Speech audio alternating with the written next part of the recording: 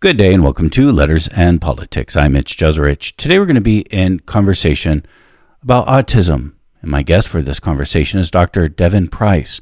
Devon Price is a social psychologist, professor, author, and proud person with autism. Devon Price is also the author of the book that we are going to be in conversation about. It's called Unmasking Autism Discovering the New Faces of Neurodiversity. Dr. Price, it is my great pleasure to welcome you to this radio program. Hi, Mitch. Thanks for having me. It's great to have you. Um, I want to ask you about a term as we begin here masked autism. What is meant by now? The, the name of your book is Unmasking. Talk to me about masked autism. What is it? What do you mean by that?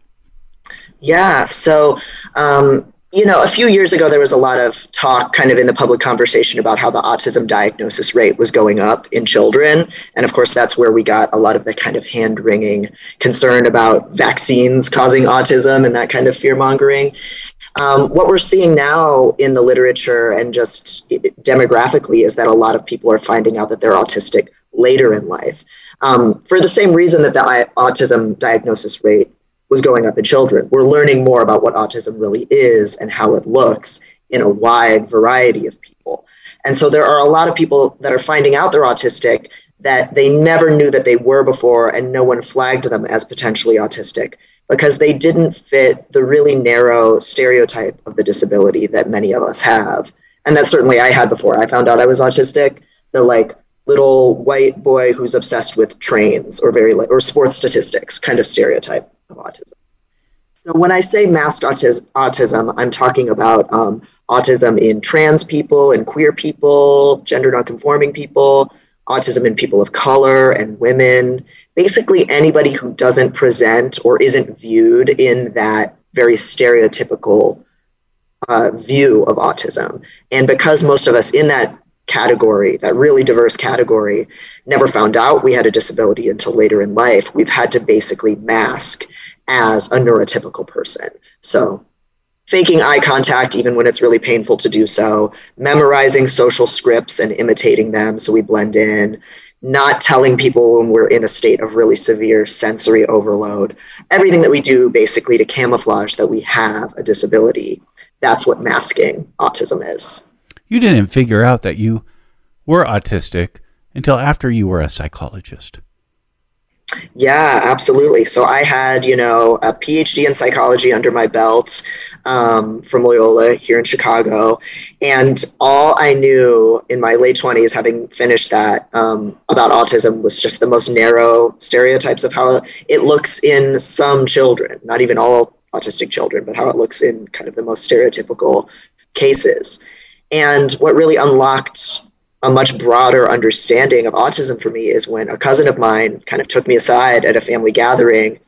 He had just gone away to college and was having a ton of difficulty adjusting, and he had gotten diagnosed.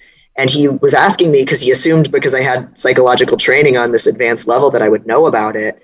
And I knew nothing about um, what autism really was neurologically and socially. And he kind of was breaking down for me just, oh, have you noticed how many people in our family have these very autistic kind of traits once you know to look for it?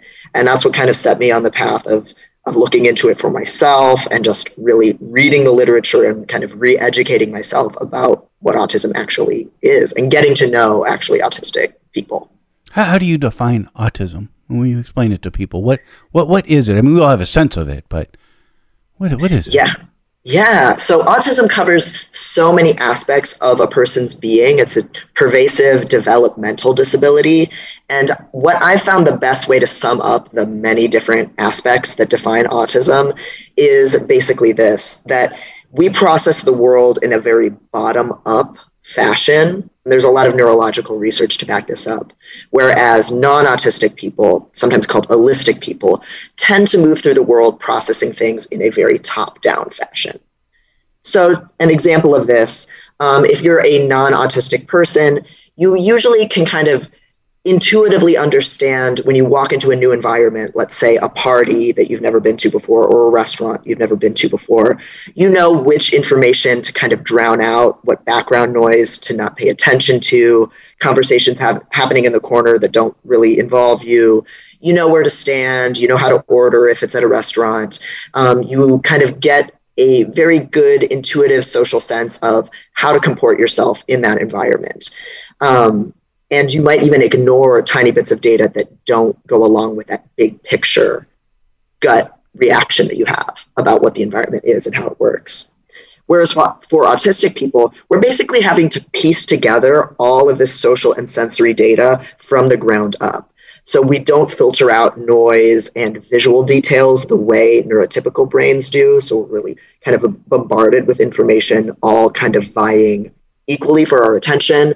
And we tend to not take anything for granted socially. So if I've never been to a particular type of restaurant before, what the social norms are for how loud you're supposed to speak and how you're supposed to order, or how you're supposed to dress and what time you're supposed to show up for a certain kind of party, it doesn't make intuitive sense to most of us. We have to kind of pick up on all the tiny small nonverbal cues and like little detectives basically piece it together and draw a conclusion. And it's because autistic people process the world in such a multi-layered bottom-up way that we get some of the biggest struggles associated with autism. So not being as intuitive at reading social cues, not always having as much confidence in understanding other people's emotions, um, being really overloaded by sensory information, needing a lot of recharge time after socializing or being in a new place. We just are processing everything on a much more effortful piece by piece level than um, do. We oftentimes hear the term the spectrum when, when it comes to autism. Is, is this a real thing? And, and sometimes it's if you're on a particular area of the spectrum, you may be quote unquote, I want to be careful language here and you'll give me your reaction to it, but some people may be quote unquote more functional. What, what, what is your sense of when we talk about an autism spectrum? Yeah, so I think when people hear that autism is on a spectrum, and now in the diagnostic statistical manual, it is autism spectrum disorder, so there's some truth in it, um, and truth in it in the data. But when they hear spectrum, they think a linear continuum where you're either more autistic or you're less autistic. And there's these people who are, you know, severely quote unquote autistic who can't function in society. And then there's kind of quote unquote higher functioning people who can. And that really just flattens so much of what's happening behind the scenes uh, for the individual autistic person and how much effort they're putting into appearing quote unquote functional in order to survive. Um, and that also really um, flattens how multifaceted autism is. So, someone might have really, really severe sensory issues where, you know, hearing a person chewing next to them really feels like physical pain for them and they go into meltdowns and you know need to like get away from the area as quickly as possible or they can't focus or think. Someone might have really kind of severe um, quote unquote you know sensory issues in that regard and be someone who doesn't have let's say trouble making eye contact. So maybe they're you know very autistic in a stereotypical way on one trait but not quote unquote severely autistic on another. And that's true for basically every trait that you see in autism. So, you know, I'm super uncoordinated and autism being a developmental disability, it took me until my 30s to really have any kind of physical abilities where I could like go to an exercise class and figure out how to follow what people are doing in that class. Um, whereas my sister, who has plenty of autism spectrum traits, she can watch a music video and know the choreography right after watching it. It's actually one of her like um, special interests or one of her kind of heightened abilities as someone on the spectrum. So this is all a very uh, long, detailed way of saying that every single autistic trait varies. There isn't a clear line between who's autistic, like what where the cutoff is for what counts as autistic enough on any single particular trait um, we're all a complicated constellation of different traits and different struggles. And we might look more neurotypical in some areas of our life and really struggle in others. And so that's why the idea of autism being this, this clear line between the functional and the non functional really doesn't hold up and doesn't really speak to our actual diversity of experiences. So would it be appropriate to say some people have a more severe form of autism than than others, and does this is there sort of a hierarchy that a social hierarchy that ends up being created uh, towards perhaps where you end up on the spectrum? So, the autism self advocacy community, we really moved away from talking about severity because it oversimplifies, and because a lot of times when someone gets called severely autistic, what it actually means is the non disabled person in that disabled person's life has more of a hassle quote unquote dealing with them. So it's this very objectifying view of, oh, if your child doesn't speak, he's more severely autistic, even if he can communicate just fine through sign language or an app on his iPad or something like that, purely because it's more of a hassle if you're a neurotypical parent of that kid. So, um, and, and, and viewing us in terms of how much difficulty we present to others is a really, you know, dehumanizing approach. So instead, what a lot of professionals and a lot of autistics have moved towards is instead talking about support needs. So that is a little bit hierarchical um, though that's still oversimplifying it. Some people are, have higher support needs than others. So that really focuses on the autistic person's experience. So if I have high support needs, I might need help remembering to take my medication if I'm on any medication, or I might need help with meal planning or navigating overwhelming, confusing environments like, you know, going to the DMV. Whereas if I'm someone with low support needs, I might be able to kind of white knuckle my way through a lot of those aspects of life. But that doesn't necessarily mean that it's easy or that I couldn't benefit from accommodations. Um, so that's really the way that it's kind of been shifting in the culture and how we talk about it. Um, thinking about what does the person with the disability need in order to be comfortable and thrive rather than um, how severe of a quote unquote problem do they present to anyone else. T- tell me more about the autism rights community or autism rights uh, movement. Yeah, so for a really long time, the public discourse on autism has been led by the non disabled parents of disabled kids. And this is certainly true for organizations like Autism Speaks, which for many, many years didn't have a single autistic person on their board and really advocated for a lot of um, treatments that autistic people ourselves are really generally really averse to. Things like ABA therapy, um, which is applied behavioral analysis therapy. It's the only therapeutic treatment uh, that is covered by insurance for autistic kids. But all it really does, um, in terms of its philosophical approach and purpose in ABA therapy, is to train kids to fake a more neurotypical personality no matter how much distress it might actually cause them you know to make eye contact when it's painful or sit still when their body is just crying out to fidget and get some of that nervous energy out. Um, so that's the legacy that goes back decades. Um, the founder of aba therapy Ivar Lovaas also founded anti-gay conversion therapy. Um, and he had the same goals in mind with both of those therapies take kids that stand out as other and train them to be normal thankfully, in recent years, um, pretty much since the late 80s, we've had the neurodiversity movement and the autism self advocacy movement, which really say no policy should be set about us without us leading that conversation. And there have been major strides in organizing and educating the public about our perspectives and needs in that time. And that's also where we get the concepts of neurodiversity, the idea that autism isn't this illness that we need to cure, but it, that it's just a naturally occurring uh, human variance. It's just a human source of diversity that we can be accepting towards instead of viewing as a pathology. Um, and then the, the kind of leading counterpoint to that, um, basically the counterpoint to Autism Speaks, is the Autistic Self Advocacy Network, which has chapters all over the United States and partners internationally that really advocate for here's how you make a world that is more approachable and comfortable for autistic people instead of having this approach that autistic people are the ones that need to change or mask ourselves. Nothing about us without us. This is a, a common and long time said statement within the disability rights community in, in general.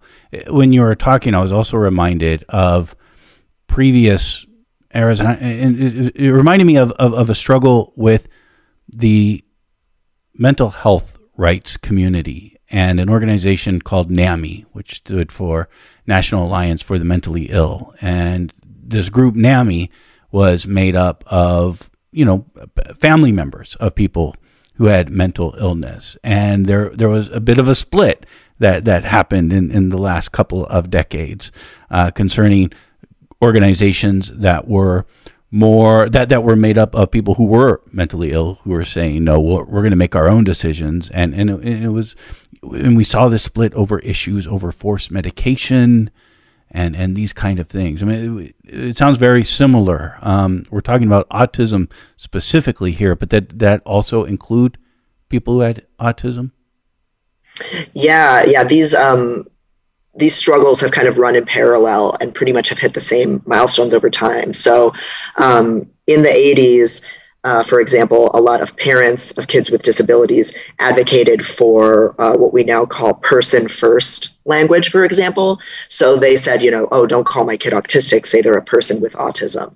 And in other disability communities, it was it was the same thing, you know, say that it's person, you know, with, with whatever disability. the disability. Person with a disability instead of disabled person.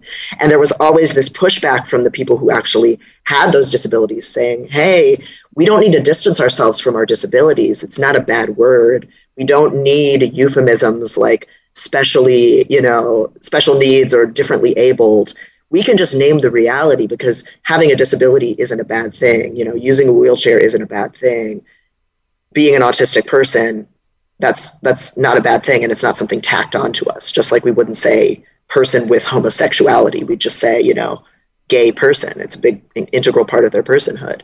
So yeah um, these tensions have been playing themselves out for the last several decades and there's a huge amount of overlap between just the more broad uh, disability justice community and what's happening in the autism world and and these fights that we keep having and these really kind of intense, uh, you know, boundary lines that have been drawn, even though, of course, actually, because autism has a strong genetic component, probably a lot of these parents that we're fighting with probably are masked autistic people who are projecting some of their own shame and stigma onto their kids because they've struggled all their life with a disability and not known it, or at least with some autism spectrum traits and then they have a kid who's more visibly disabled and they're uncomfortable with that. And so i hope we can get to a point where we realize we actually are in a shared struggle and that we need a lot of the same supports whether we're a caregiver or a person who has the disability ourselves. Because yeah it's been these really deeply entrenched fights over language and frameworks. It's been going back years lifetimes even. What are the big issues right now in the autism world in the autism rights community so the biggest fight for a long time was the fight about vaccines, and unfortunately, it's evergreen and even more relevant today, um, based on the back of one now discredited study in the UK. People had this belief that the MMR vaccine caused autism, and it was because having a kid who was autistic was seen as such a terrifying fate, right? That so many parents got swept up in that fervor and denied their kids really important preventative vaccines. So that's been a really big fight in the autism world for a long time now, educating the public that no, vaccines do not cause autism. And also, why is the idea of having an autistic child so terrifying that you'd rather have your kid get measles, mumps, and rubella um, than be autistic, even if that were the case, um, which of course it's not. So that's still very much a battle. Um, another big because battle, of the, because of, uh, forgive me, but because of the I really want to hone in on this because this is something we we hear because of the mm-hmm. negative. So the consequence of that of that conspiracy theory was that it portrayed people in a negative light and brought a stigma and reinforced a stigma. Right. Yeah. There's so many huge shockwaves of that belief that a lot of people had and still have that vaccines cause autism. It really worsened the stigma associated with autism because it treated it as this terrifying condition that your child just develops as the side effect of an unhealthy, unsafe treatment. And then, of course, it um, resulted in a lot of people not getting really crucial vaccines and really weakening our herd immunity from all of these conditions. And it's been a problem with convincing people to get vaccinated for COVID too, um, because that fear of vaccines has gotten so widespread. Um, but yeah, another huge side effect of it is just giving a lot of parents this impression that autism is this terrible thing that steals your child away from you, which could not be a more horrific way to look at your own kid and their disabilities and their needs. This is Letters and Politics, and we are in conversation with Dr. Devon Price. He's a social psychologist, professor, author, and person with autism. And he is the author of the book that we are in conversation about called Unmasking Autism Discovering the New Faces of Neurodiversity. I, I interrupted you when you were about to name a few of the other big issues, and, and I do want to know what they are. Yeah, so I think another one of the big issues for autistic people as a community right now is the return to work following, uh, quote unquote, following the pandemic. Uh, a lot of us have really enjoyed and benefited from the flexibility, the slower pace, the ability to do work in privacy and in an environment where we can control our sensory diet um, and our social overload uh, that the pandemic um, has has given us and that work from home has given us. So that's another really big force. I think a lot of the workplace issues and labor force issues that are affecting everyone right now are affecting disabled people and autistic people particularly strongly. Um, the great resignation certainly has been um, something that a lot of people both in the autism and the ADHD communities, or people with mental illness as well, people who have struggled in the conventional workplace. One of the positive side effects of the pandemic and work from home is that a lot of people have realized that a nine to five work schedule in a physical workplace was incredibly grueling to them and that they didn't have to actually live that way all their lives. So that's a really big one that a lot of us are advocating for that companies should be retaining flex time, work from home, really flexible work options, and that really makes it far more possible for people with disabilities, a variety of disabilities, to be able to work and thrive. That's another huge one. Another huge issue affecting the community is just the invisibility of autistics who aren't white cisgender men. So, um, looking back to the uprisings um, and protests in the movement for Black Lives in 2020, a lot of people don't realize that 50% of people shot by the police in America have a disability. Um, so, a lot of Black autistic people have to worry every single day about being seen as dangerous or scary and having to face state violence when all they're doing is, you know, walking down the street flapping their hands to self-regulate their emotions, something that almost every autistic person is familiar with with needing to do. So bringing more light and attention to the really heightened discrimination that um, Black and Brown autistics face and how erased they've been from uh, the disability justice world and just most people's understanding of what autism is and what it looks like. That's another really pressing issue in our community right now. Yeah, it makes me think of a, a good friend to this radio program, Leroy Moore, who has spent time, his life working on this issue around race and disability and, and policing. And this argument he makes is that, look, a, a, a great number of those people that you see now in video cell phone videos um, being shot by police, oftentimes they have some kind of a disability, frequently a, some kind of a mental disability or a psychological disability. Absolutely. You know, autistic people, one of the great strengths and curses of us is that we we are not compliant. Our bodies don't comply to neurotypical norms. If a rule doesn't make sense to us or a social norm doesn't make sense to us, we often will step outside of it. Um, I point to some research in the book showing autistic people are more likely to be whistleblowers when they witness ethical issues at their companies. We're firebrands and we don't conform, and sometimes we can't conform. Um, but what that means, especially if you're a Black autistic or an autistic person of color, your nonconformity is seen as violent or aggression or scary, and you get really harshly punished for it. And sometimes it costs you your life. And that's even if you're doing something that in a white autistic person would just be seen as a little bit quirky, um, a little bit unusual. Um, and so that's a really huge force that I think a lot of people just don't realize how much these two issues intersect. What is happening physiologically with autism? So there's a lot going on uh, physiologically with autism. There's a lot of neurological differences that we tend to notice. Um, so one um, physiological difference in autism is, and I'll try to explain it as simply as I can. Uh, we have a very different, what's called the global to local interference ratio in terms of how our neurons fire off which what that means basically it goes back to what i was talking about before about uh, being bottom up processors instead of top down processors. So generally speaking autistic people our sensory systems are very easily set off. We notice lots of small details. We don't filter out information. We have very hyper excitable neurons that don't uh, distinguish between the noise and uh, you know don't don't tell the difference between the forest and the trees basically. Um, and a lot of this research is still pretty um, pretty recent. You know there's a lot of what makes autism what it is that we still don't fully understand in terms of neural and brain based differences but that is one that we really consistently see.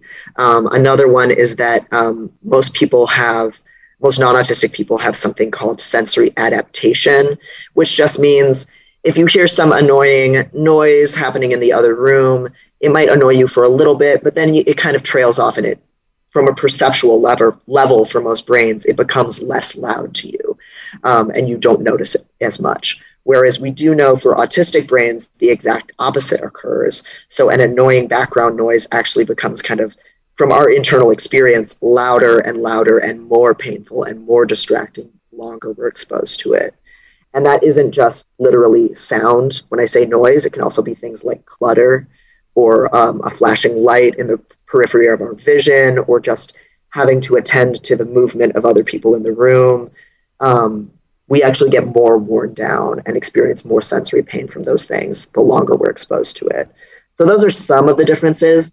But um, a lot of times, what we know about what defines autism is we do know it runs in families it has a genetic component, and we do know how autistic people describe it.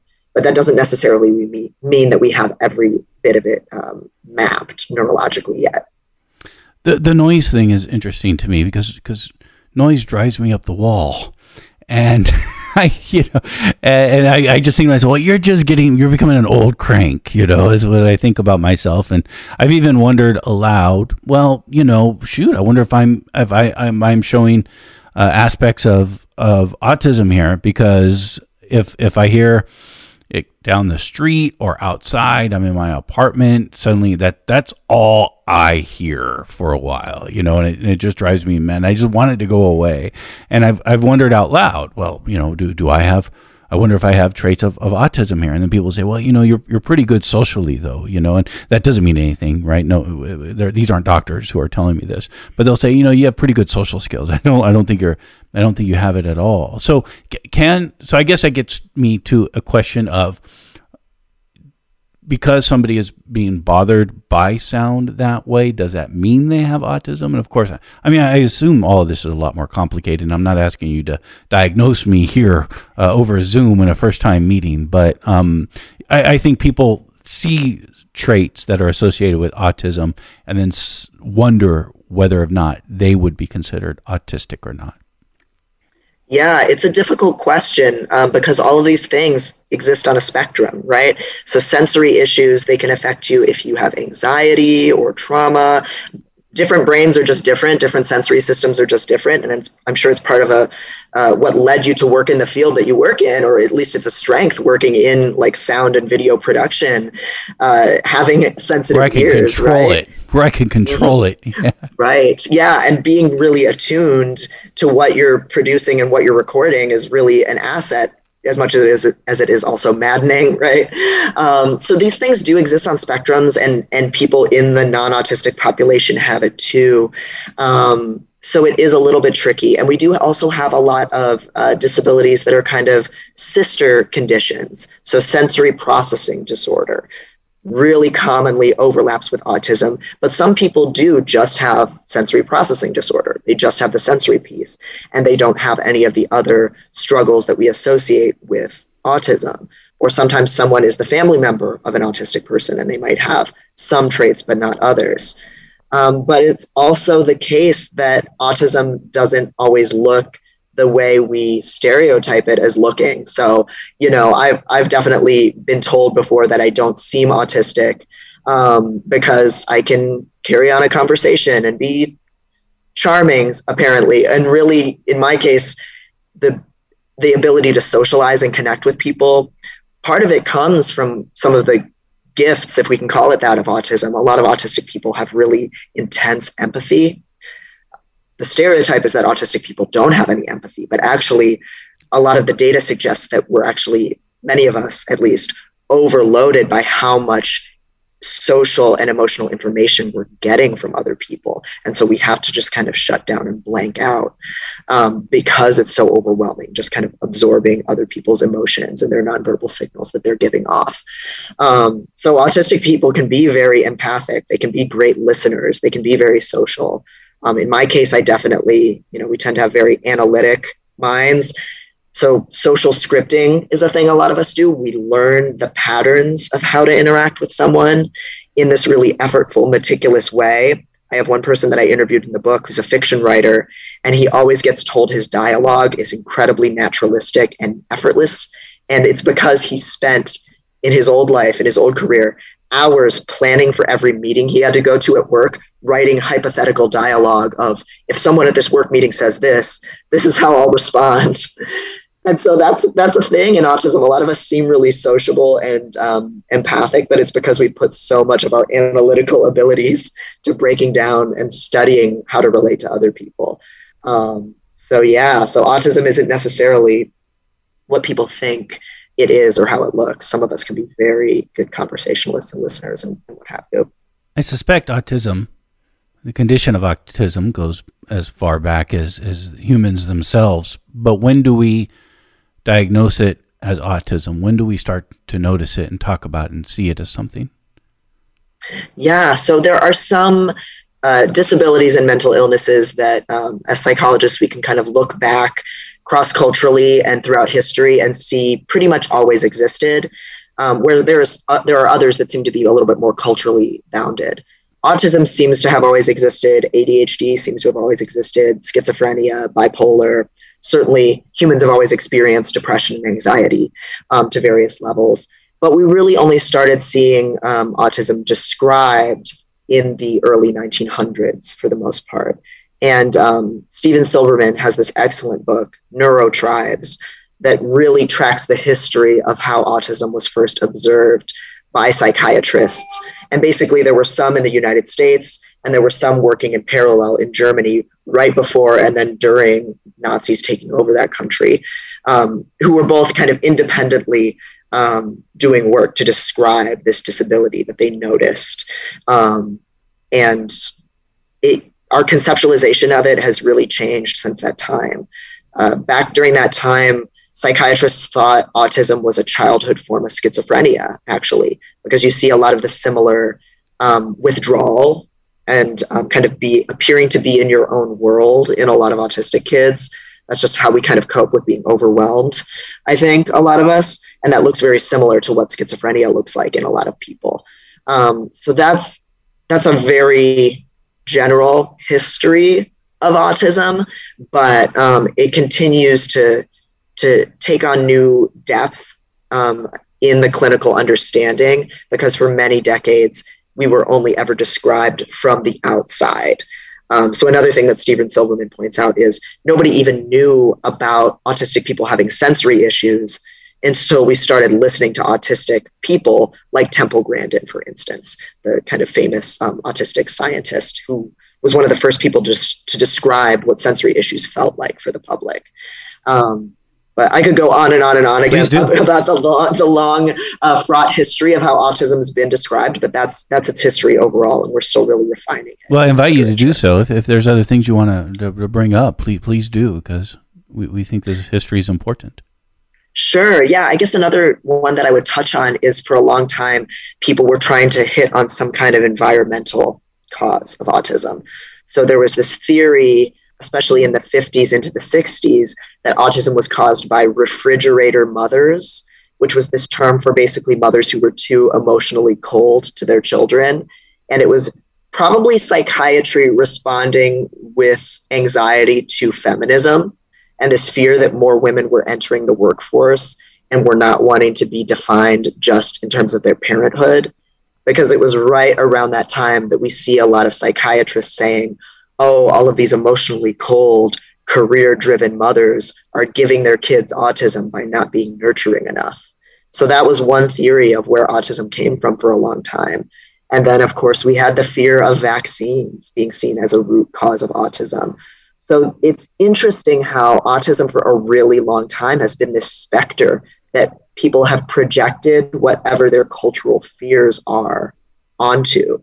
And now, to a limited extent, we see the same thing with technology, I think, that, that a lot of parents have these fears that their kids are spending too much time online which maybe that's true. maybe that's not a good thing for a variety of reasons, but sometimes it plays out in terms of saying, oh, that's why my kid's socially awkward.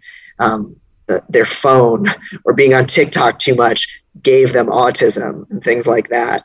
Um, and we also see that today with this fear that um, this alarmism in the um, in the transphobic, in the transcritical, transphobic world, that there's too many autistic people who are trans, and so maybe maybe the our trans identities are suspect basically because how can you trust someone with a disability to also declare that their identity as a queer person that's another big realm where we see it so so there's this through line throughout history of whatever society is nervous about at the time whether it's feminism vaccines trans identity technology autistic people get pulled into that cultural war and get kind of demonized for it in ways that are used to justify taking our rights away in many respects.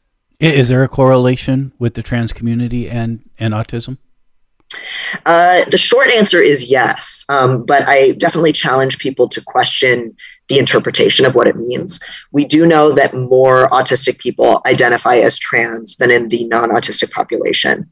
We also know that more trans people identify as gay or bisexual than in the non autistic population. So for me, the question is always um, it's not why are so many autistic people trans? It's really why are so many non autistic people in the closet about these identities, um, is really how I would reframe it. You also write about how women have been treated differently when it comes to diagnosing autism. Absolutely, yeah. So for a long time, there's been this writing in the literature about quote unquote female autism. And psychiatrists, if you're trying to seek out an assessment, you'll sometimes still even hear this. I've heard this from many autistic women that I interviewed for the book. Sometimes they'll get turned away for an assessment simply because uh, their psychiatrist believes that autism that autism doesn't happen in women, um, or that if it does happen in women, it's milder, and so it's not a big deal when I've looked over the literature, I believe it's an interpretation issue again, where basically the struggles of autistic women have been taken less seriously than the than the struggles of autistic men. Um, generally speaking, there is no evidence that actually autism is less severe in girls. It's just that as a society, we force girls to fake social niceties more, to complain less from a really young age. We for, force young girls to be less um, aggressive in their play. They need to be more like nurturing in their play. And if they do any play fighting, they get way more severely punished for it than boys do. And so, what this means on a really broad scale is when a girl or a woman has autism spectrum traits, she's punished for it so much more harshly that she really has to mask it and hide it. And then we turn around and tell her, oh, your autism doesn't look so severe because you're you've been forced to hide it. So you don't need those social supports and that help. And maybe you don't even need a diagnosis because you've had to learn how to mimic um, kind of normal feminine behaviors.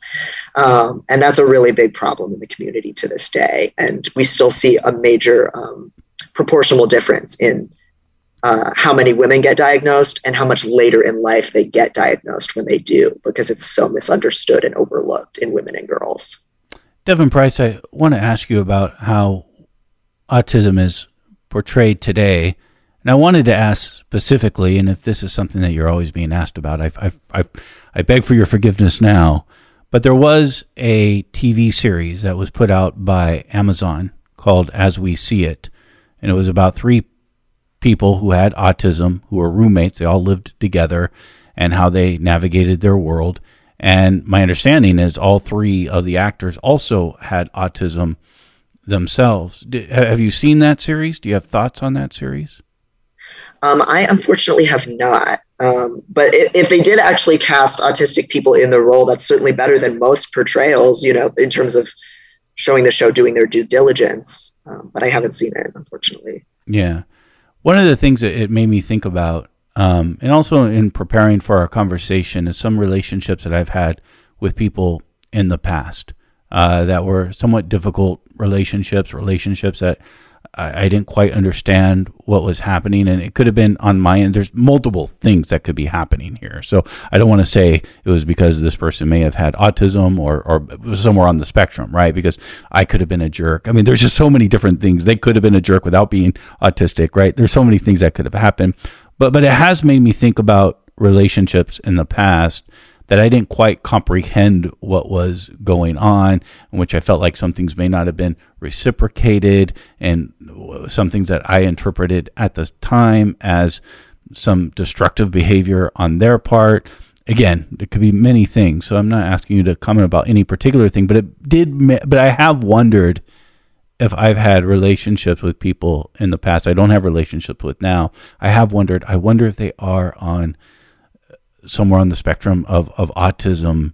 And, and I almost regret not thinking about that now when I look in the past of that. And I'm not asking you to comment about any of the relationships I would have, but but I would I wonder if this is sort of a, a common dynamic of of interactions with people without realizing what was happening. Yeah. So so one thing that I would point out with regard to that is how much of mainstream neurotypical social rules lies in the things that are left unsaid and how difficult of a social minefield that is for autistic people. We tend to interpret people's statements hyper literally. Um, if somebody asks me how my day is, my first inclination is to actually be honest, when usually that's not why someone's asking that question. Or if somebody in my life asks me my opinion about what they're doing, I'll usually tell them pretty bluntly what I actually think. And sometimes that's gone really disastrously. And I've lost friendships over being too bluntly honest and not realizing that it read as cruel or judgmental to the other person. Um, we also just tend to miss a lot of things that are just said between the lines. And that means that sometimes we unwittingly hurt and disappoint people who are trying to drop signals to us that they want us to show up to some event, that they want a certain gift for their birthday, that they want some kind of emotional response that we're not picking up on. And so, for a lot of autistic people, we've stepped on these social landmines over and over again all our lives not even knowing what we're doing wrong because we're just trying to interpret the data that is kind of bombarding us and that we see. And it leads a lot of us to have really, really heightened um, social inhibition. We really second guess everything that we say and do after a certain point because we've just said the wrong thing so many times. Um, we may have really intense social anxiety. We may have trouble trusting and opening up to other people, or just wear a really superficial mask again, hence the title of the book, where we just try to seem as inoffensive as possible because we have really screwed up in the eyes of the neurotypical people around us before. Um, so I have a lot of stories of that in the book from my own life and from the life of people that I've profiled. And it's a complicated thing because if I've hurt someone's feelings, me having a disability doesn't necessarily excuse that, right? If I've said something that's hurtful, I've still hurt someone's feelings. And having the op- opportunity to take accountability for that is a real gift. Like when a friend of mine tells me, "Oh, it really hurt my feelings when you made that joke or when you made that really blunt observation." That is so meaningful to me as an autistic person because it gives me a chance to learn what was happening behind the scenes and adjust. Um, but at the same time, I would really encourage people, especially people who aren't autistic, to try and communicate more directly and to let people know when they've missed a cue and when they've hurt your feelings. Because whether they're autistic or not you know who knows what's going on with some of those people in your life. Maybe some of them were autistic and maybe some of them were jerks and maybe some of them were both right?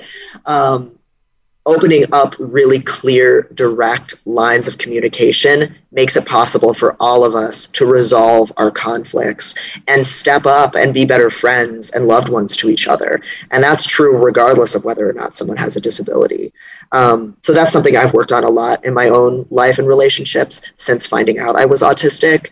And those have been the relationships in my life that have really deepened and healed and thrived are the ones with people who can say, oh, hey, I asked you this question not because I wanted a literal answer to it, but because I wanted to bring your attention to this thing. Or even better, when someone stops playing those kinds of games and is just really straightforward, like, hey, I'm having a party tonight. It would mean a lot to me if you would come. Or, hey, I just, you know, made this game or made this song. It would really mean a lot to me if you would listen to it and check it out, you know, not instead of dropping hints, whatever the situation is. Um, because so much of interpersonal activity are hints and not yeah. obvious signals that we send to each other. Right. Yeah. And I think it would make a more comfortable world for all of us, disabled and non disabled alike, if we just meant what we said and said what we meant more often. And um, that makes it possible to build more accessible relationships with the autistic with the autistic people you do encounter. And just having a little bit of patience with bluntness and obliviousness or what seems like obliviousness.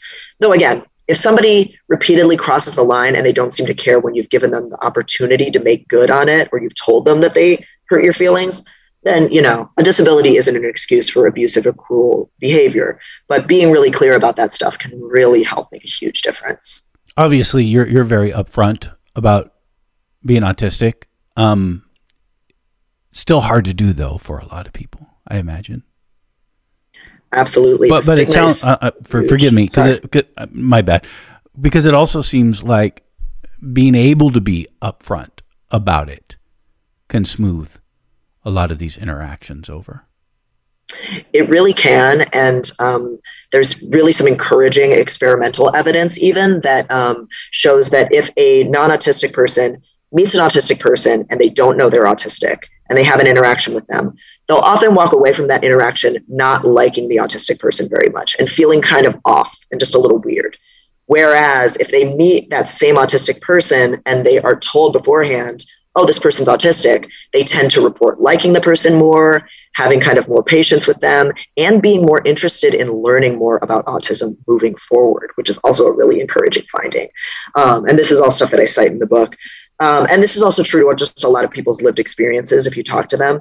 Um, when it's safe to kind of put that foot forward and tell people when you meet them, or as you get to know them at least, that you have a disability, in my experience and in a lot of other people's experience, you get more curiosity and patience. And people self educate sometimes. In some of my most meaningful relationships now, the person really looked into how do I communicate better with an autistic person? What do I need to be patient about? What do I need to be mindful of? It can make a world of difference. That said, it's also really risky. I would, especially in the workplace, encourage people to be really intentional about whether or not you can trust your coworker, your managers, your employer to not discriminate against you. Because even though it's illegal in theory to discriminate against autistic people under the Americans with Disabilities Act, in practice, sometimes once you tell people you have a disability, they start looking at you differently and treating you in a really infantilizing or judgmental way. So, you know, I'm all for unmasking. I'm all for us being our authentic selves and advocating for ourselves. But I also know sometimes it's really risky and, and dangerous, unfortunately. The stigma is still there. The stigma is massive. Yeah. Dr. Devon Price has been our guest. Again, Dr. Price is a social psychologist, professor, a person with autism, and author of the book that he has joined us to talk about called Unmasking Autism Discovering the New Faces of Neurodiversity.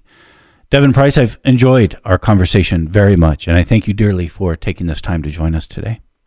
Yeah, thank you so much for having me.